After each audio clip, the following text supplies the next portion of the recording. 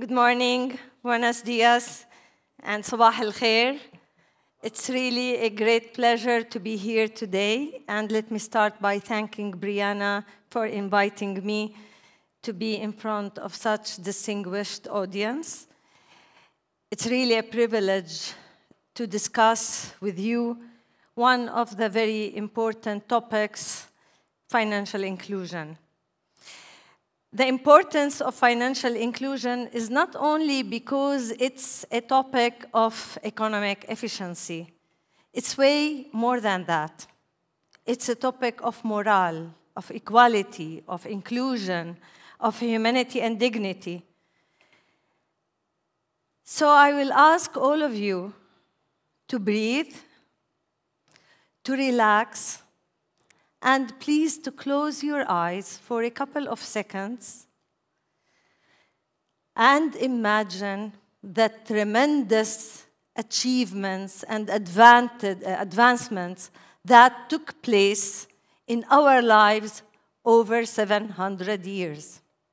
Seven centuries of overwhelming industrial uh, advancements, technological advancements, engineering, medical, you name it, 700 years.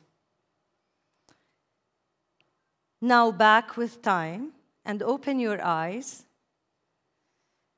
700 years ago, almost the first prominent official comprehensive bank started its working in Italy in the middle of Florence, Medici Bank.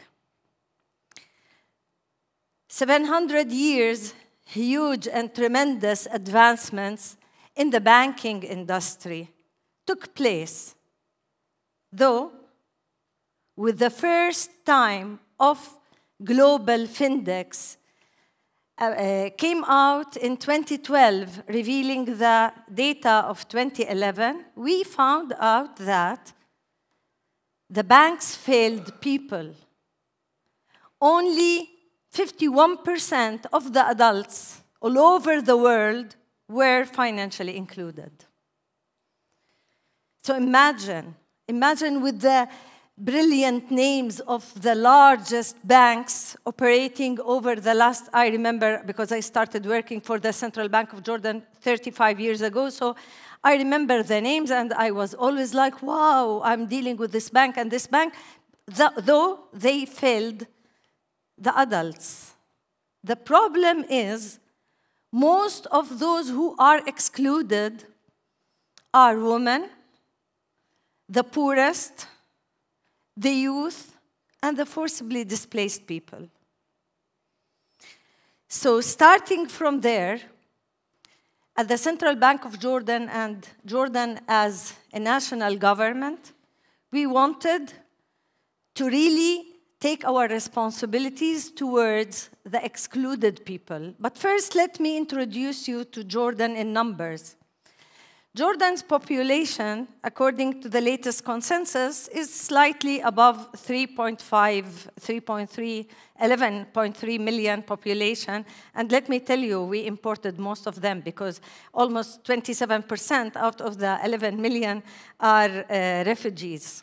And most of the refugees are Syrian refugees due to the uh, huge influx of refugees that took place in Jordan in 2012 and 2013. And Jordan is one of the youngest population in the world, with 63% of the population below the age of 30.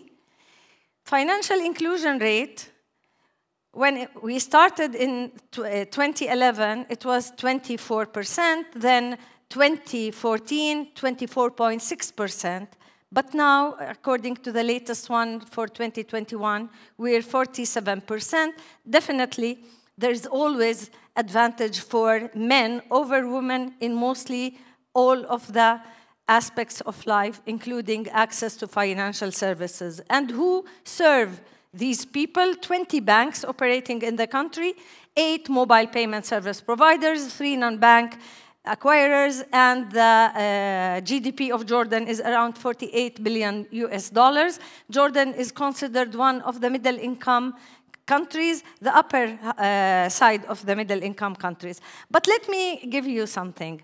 When we had the first Findex in 2011, and it was 24.6% of the overall population of 7 million. At that time, we had 24 banks operating in the country and no uh, payment service providers. When we saw the numbers in 2012, the governor called for a high-level steering committee.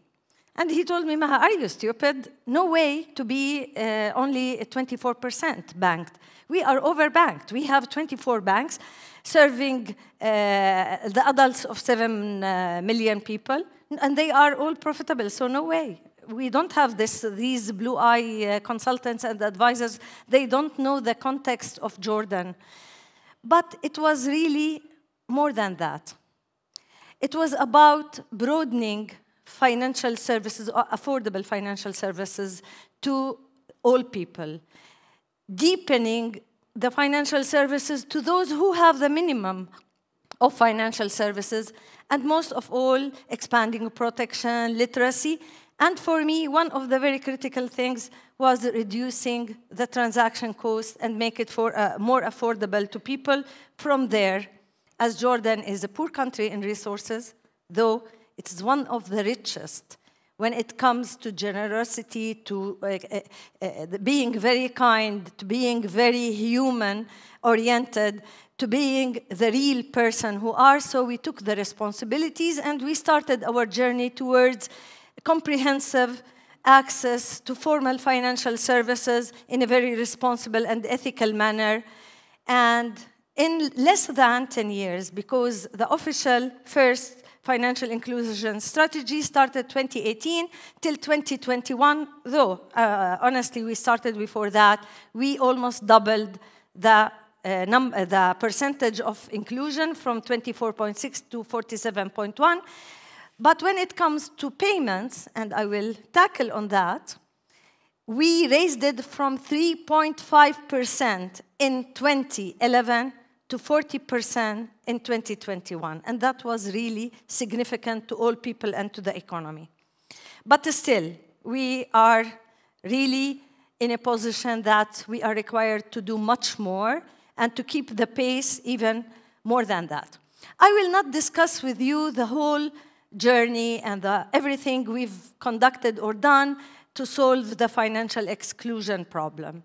I wanted to focus on two pillars of our strategies that started in 2018. Afterwards, we kept in our mind and focus the target that we are responsible to serve, always.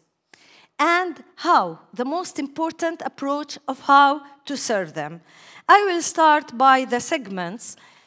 It always included women, refugees, youth, the poorest, and the MSMEs. But for the sake of today, I will focus on the most two vulnerable in my perspective, who needs the most, because when I talk about women and refugees, they are very vulnerable, and we now we can see many countries, even among people here, they are hosting communities for many of the refugees or forcibly displaced people. So this is very important. Within refugees and women, we have youth, we have uh, uh, both genders, etc. So I will be discussing more about women and refugees. For women, and uh, you know, the Findex, it includes all population, all people living in the country. So it includes uh, yeah, all the, the uh, refugees. We succeeded in reducing the gender gap from 53% in 2017 to 32% in 2021, and that was really significant because it required us to double our efforts. We wanted to expand and to enhance the financial inclusion for all, for both genders, but we had to put double efforts in order to reduce the gap, and this is very apparent, for which we implemented different techniques and approaches. One of them, due to social norms in Jordan, many of Jordanian women or uh, refugees, they are reluctant as female to share sensitive data, names, mobile numbers with male uh, agents. So we created a nationwide female e-money agents across the country. And this is a photo of one of the female agents with Queen, Maxi, uh, Queen Maxima of Netherlands. More than that, we started to create female digital champions from their communities, either refugee communities, the poorest communities, people living in remote areas communities, youth communities, and you can see the three digital champions here. This one, she represents youth, and this one represents the refugee, and this one represents the poorest. So we created a network of female digital champions to become trainers, to become uh, influencers in their communities, agents. So they understand their language, they can feel and sense the same needs that and heartbeats. So maybe for me, if I live within a camp to, uh, trying to figure out what they need, I will not be the right person, could be someone from their community. And we conducted definitely several awareness programs, literacy specialized for them in their communities, and outreach programs to really, for example, with uh, Arab Women uh, Enterprise Funds and others, trying to do many of the things for the community and for women. I thought I, uh, I'm done. For refugees, I'm really honored and feel so proud being Jordanian, as Jordan was, and this is, by the way, me. Jordan was the first country, and Central Bank of Jordan, the first central bank in the world to make official announcements and commitments towards refugees to provide them with access to formal financial services back to 2011, uh, uh, sorry, 16. And Jordan was the first country in the world to implement innovative biometric iris to validate the customers, the refugees, to uh, uh, validate them, to conduct know your customers, even to conduct purchases at the point of sale, for example, with World Food Program or with any other uh, merchants that accepts payments using the iris. Digital experiments. So this is very important, and I love always to share it with audiences because as we know, poor people, women, refugees, etc., youth, they tend to need specific products and services. It's not something like on the shelf, we take it one size fits all. So before doing anything and perceive that we know more than them and this is the best solution we need to implement, so we conduct a, digital intervention or digital experiments. It's a kind of intervention, regardless of what. Any new enhancements or improvements on what we provide instead of putting huge investments and waste time to, to do it at a larger scale, we conduct experiments using, for example, control group with other group, or before and after, we analyze the results and we disseminate knowledge on what is recommended in the market for the uh, private sector to do, or and what is not recommended as it, uh, it is a failure from our side.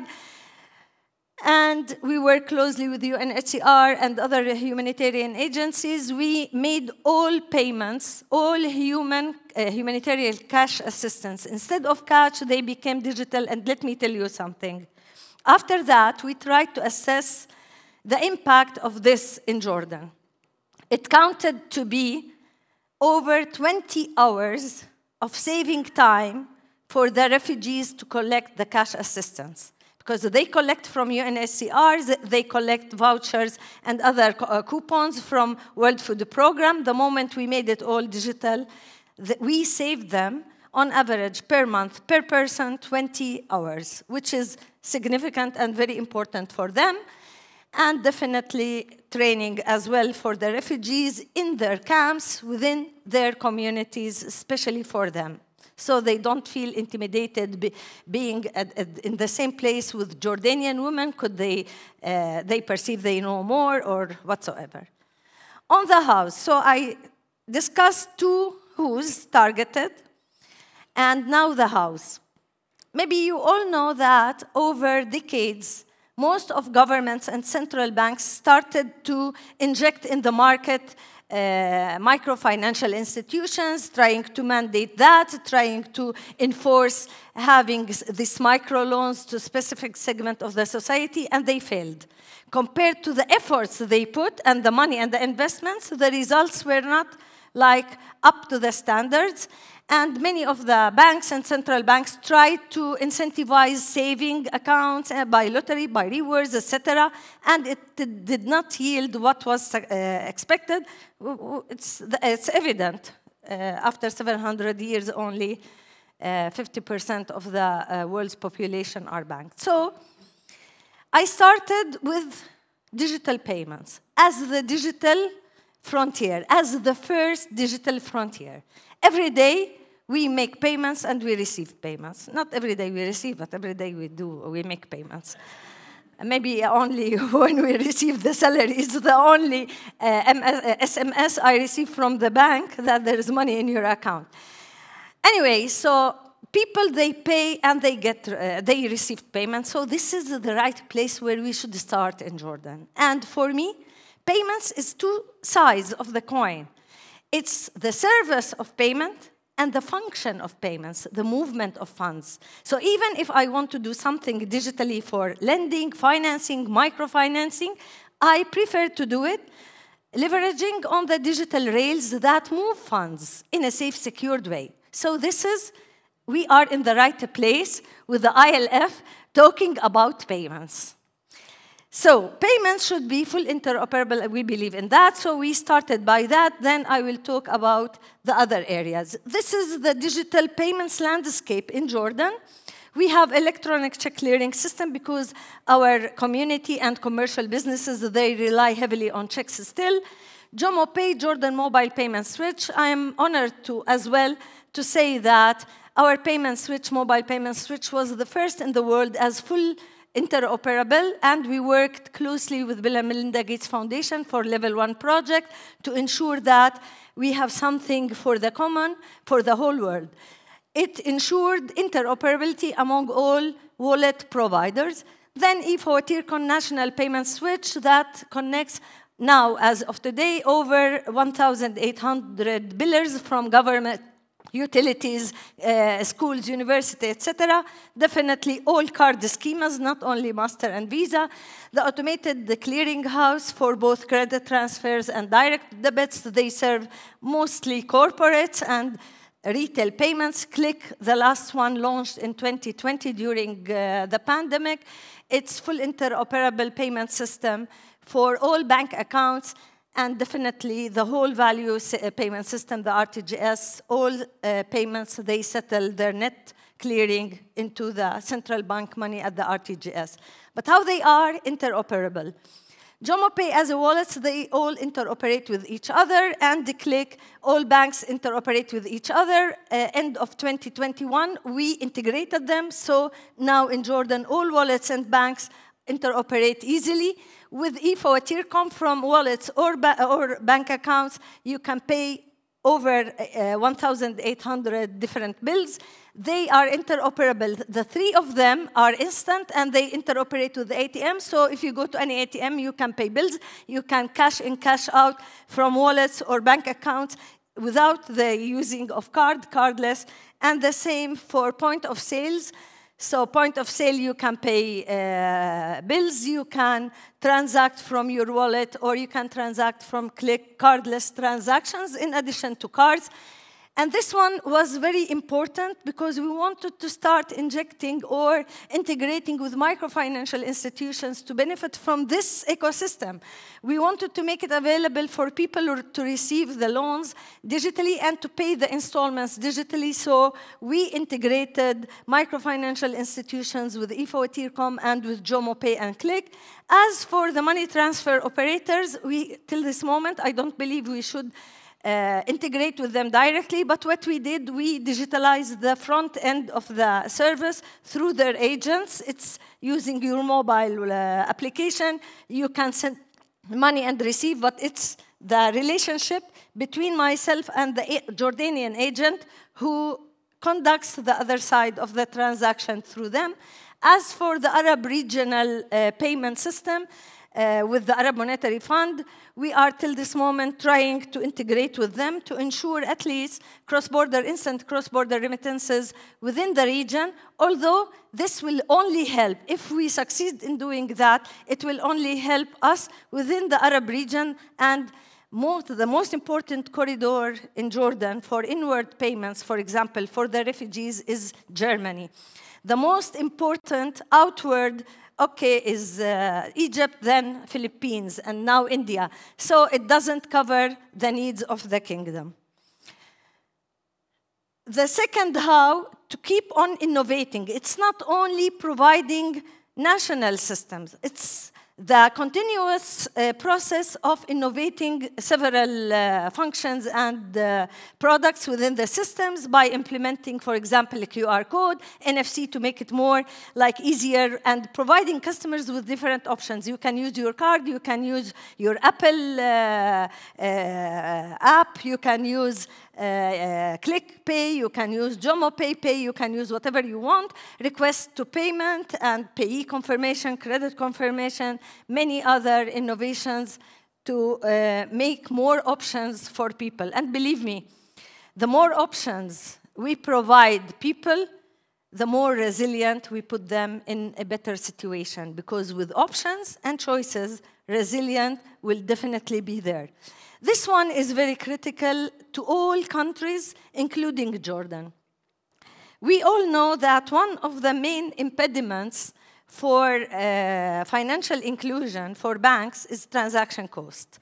Because this segment of the most vulnerable, the ticket size is relatively small. So if you want to impose fixed costs or fixed fees over a small transaction, this is like significant and costly for them. That's one of the reasons why banks, uh, previously, they were reluctant to provide services for such people.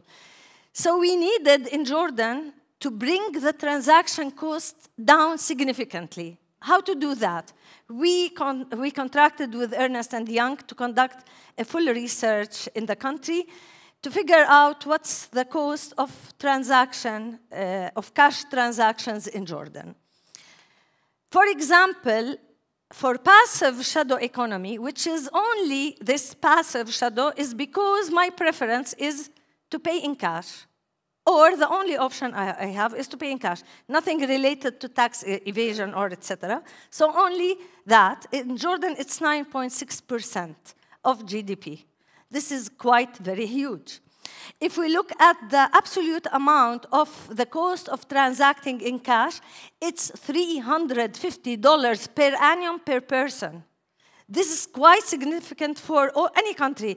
What about a poor country in uh, financial resources and natural resources? So we wanted to promote the digital payments to reduce this, bringing down the transaction cost down.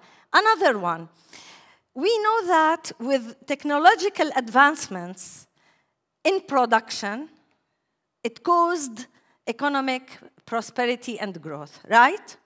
But technological advancements, it's not only peculiar to production. It's more about processes. It requires re-engineering the processes. It's not automation, it's digital transformation. That brought transaction costs down significantly.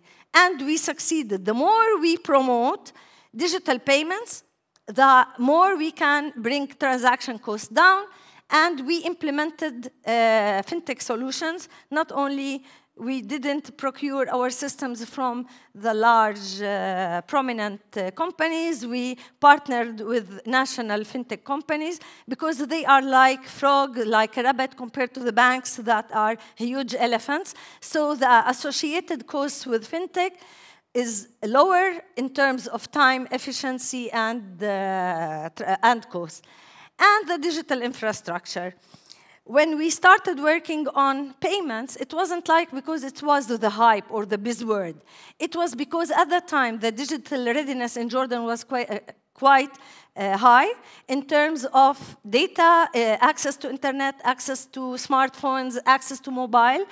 So we capitalized on that to try to bring most of the digital payments options into the device that most of the people have, with most of the people have access to internet. So we leverage on that, bringing the transaction cost significantly, making the, many of the digital payment solutions cost very affordable to the most vulnerable people, to uh, refugees, to women, to youth in the country. That's what caused 3.5% increase to 40% increase in digital payments in the country.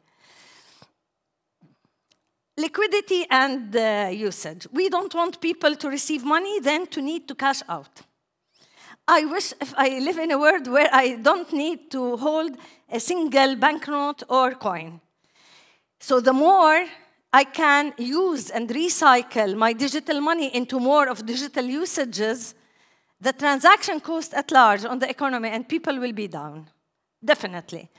So we are still working heavily on e-commerce with digital payments, with all options of open payments, and more innovative approaches for merchant acceptance, all types of merchants. And here in uh, uh, Costa Rica, I found that the smallest uh, merchants, they accept digitally. And what made me so happy to see many of you, when I did this tour with many of you, like creating more of options for digital usages, digital liquidity. This is great, and we look forward to working with you in the future or working with people like you in the future in our countries. So wishing you all the, uh, all the best in your expansion outside your countries. Uh, Briana always kept on asking me how the banks in Jordan took that with the whole with the challenges they are facing. Definitely, we have several stakeholders, but I will be like focusing on the banks. We know that banks they see this segment not feasible, not profitable. Uh, it's not easy to serve them outside in the remote areas. Uh, they are perceived as riskier they are perceived as uh, not fully uh, uh monitored and tracked for compliance. Uh, many of the areas they, they need more of financial literacy. Central Bank of Jordan allowed them to implement and to adopt different approaches like uh, branchless banking, agent banking, more uh, options of digital channels, outsourcing part of the services, uh, serving them remotely uh, with Know Your Customer. This is where we now use digital identities. For example, uh, perceived higher risk. Definitely, I don't know this customer. I have no data about this customer. He lives in a very remote area, so how can I uh, conduct due diligence? So now we have access to more data uh, with the approval of the government to open data. So many of the things took place, but this one is like the most important here, the collaboration and partnership. We were like uh, lucky and blessed to have one of the best banking sector in Jordan in terms of not the implementation, in terms of how they see their responsibilities toward the country.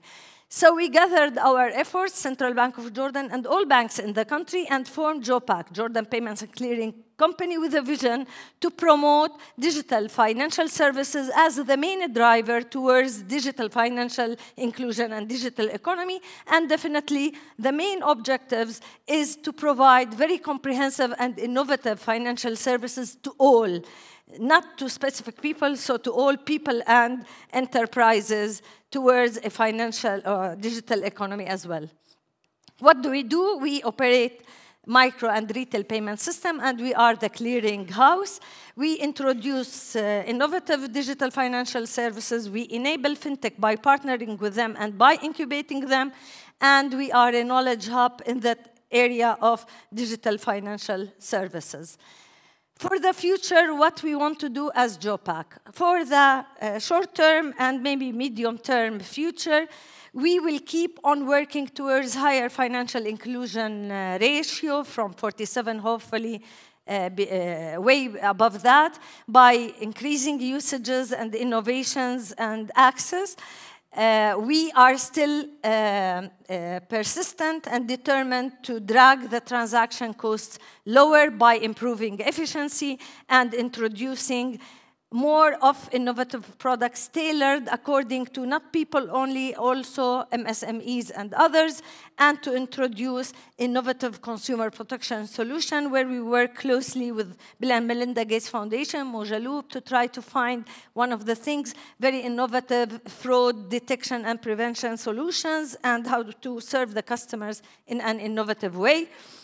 This is the most important part we would love to have more of open payments for e-commerce and others, and we look forward to get the assistance from Arnie, Ernie and from the ILF, as well as for instant cross-border payments, because I made it very clear, and yesterday my colleague Layana on the uh, session, she made it clear that either spaghetti integration or like single integration bilateral with different hubs and different regions, it will lead us to a very messy world, but we needed something like sending money as simple as sending an email.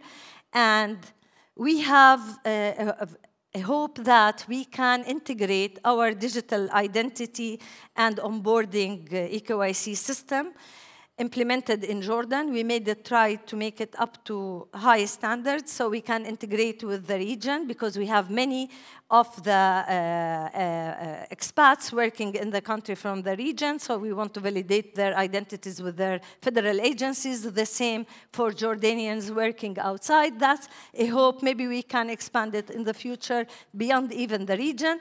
For green financing and ESG, still Jordan, we have some policies in this regard, but we are way behind, uh, be behind innovative approaches towards that, and this is something we all hold the responsibility towards, and innovative RegTech solution. I wish I can see uh, from you and from those cohorts graduated from ILF or grantees that we can rely on such uh, innovative solution to reduce the compliance and regulatory costs. Yesterday, also, I think Cheryl was talking about this huge cost. We want to drag it down by innovation to supervise innovation. And a globe, oh, sorry, this is uh, the tagline. And about fintech. So to make it easier for the banks who became partner with us, to support all financial inclusion. Now we brought them together with us to support fintech ideas and fintech implementation. We uh, came out with the program called Join Fincubator. By the way, Join, it's the first two words of Jordan, IN innovation. At the same time, it's, um, uh, it's like uh, uh, invitation for action. So join our fintech incubator, Join Fincubator we follow this strategic uh, star where we provide the cohorts and entrepreneurs with access to infrastructure, whether it's physical or digital infrastructure, access to expertise, name the expertise if they need in legal, marketing, consumer protection, AML, CFT, UI, UX, API strategies, and access to partnership. Either we work in some areas like Mozart, that we integrate fintechs with the banks if they require that. And believe me, we are making everything for free except when it is like commercial. We at least cover our costs. And access to markets once they uh, implement within our incubation, they experiment, they experiment with the regulatory sandbox, then access to market will be in a shorter time, and we started working with other countries to ensure bridging and passporting to another countries. Access to finance, we don't provide any grants. We're considered like, although we're supported by banks, but limited uh, capabilities to do that. We don't uh, have any equity in these startups because we don't want to share them with any potential increase in their value. We just want to serve them in order to serve our country. And we target startups, financial institutions, academies, I'm about to finish, so I will talk about academies. One of our commitment is to reduce the gap between academic outcomes and what the market needs and the challenges in the market. So we work closely with the universities in the country for challenges, for hackathons, and even for specific courses every semester in uh, different universities uh, around the kingdom to provide the students with like um, broadened uh, mind how to see things, how to start while they are uh, in the universities to start thinking about finding innovative solutions for specific pro uh, problems in the country and for the region. If we exclude the Gulf, who are very rich, who have maybe 70, if 90% of the population are expats from different countries, so they don't have that major financial inclusion problem. But other than that, we uh, work uh, closely in collaboration with Egypt, Lebanon, Morocco, uh, Iraq, uh, our dearest um, uh, Palestine, we work with Tunisia, Algeria, so many other countries. Uh, Sudan, we try to bring the region in some harmony where we can deal together, where we can cooperate, and I wish to have more open uh, spaces and areas for collaboration with the ILF, either for Jordan or for the region, where we will be more than honored to help and to cooperate with you.